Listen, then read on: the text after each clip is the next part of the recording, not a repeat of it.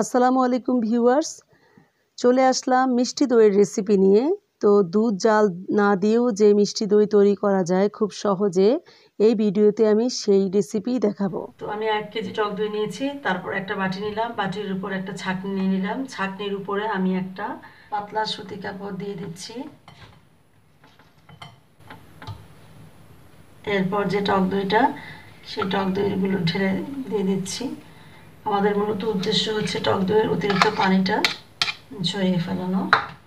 তো এই, এইভাবে করে আমি নিয়ে নিলাম এক কেজি দই। তারপরে হচ্ছে আমি এইভাবে করে চাপ দিয়ে এইভাবে একেবারে ঠিক এরকম করে মুড়িয়ে এই যেভাবে রাখব, দেখুন। দেখুন অলরেডি পানি পড়া শুরু হয়ে গিয়েছে, দেখুন।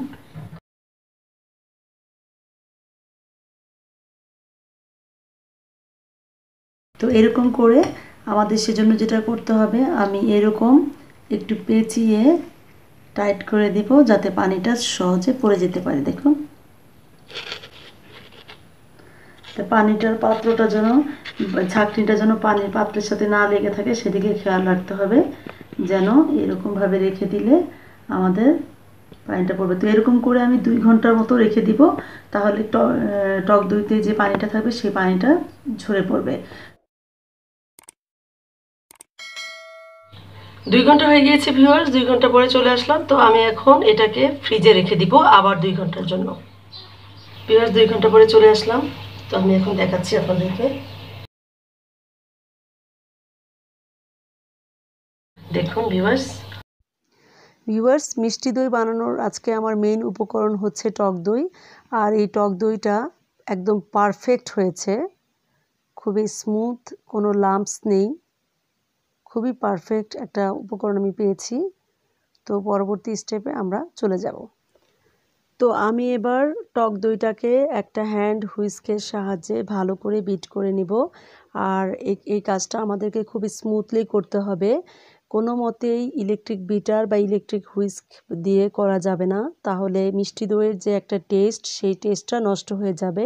দেখুন ভিউয়ার্স কোনো ধরনের লাম্পস নেই। আর এই পুরো কাজটা করতে আমার পাঁচ থেকে ছয় মিনিটের মতো লেগেছে। তো এবার আমি দিয়ে দিচ্ছি এক কাপ কনডেন্স মিল্ক এটা আমি বাসায় বানিয়েছি। তো দিয়ে দিয়ে দিচ্ছি। দেওয়ার পরে যেটা করতে হবে, আবারও খুব ভালো করে হুইস্ক করতে হবে। অবশ্যই হ্যান্ড হুইস্কের সাহায্যে। এবারও আমি প্রায় তিন থেকে চার মিনিটের মতো হুইস্ক করে নিব।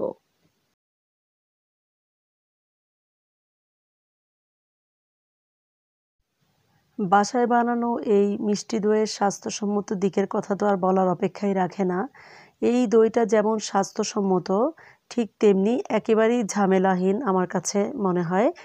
আর অসাধারণ, মজাদার এই মিষ্টি দইটা বানানোর পর, শেখার পর থেকে আমি এত বেশি আমার বানাতে হচ্ছে, আমার বাচ্চারা আসলেই খুব পছন্দ করে।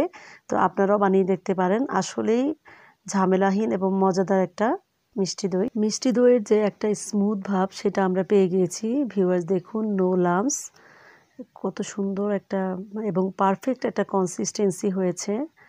আসলেই চমৎকার একটা মিষ্টি দই আমরা হাতে পেয়ে গেলাম।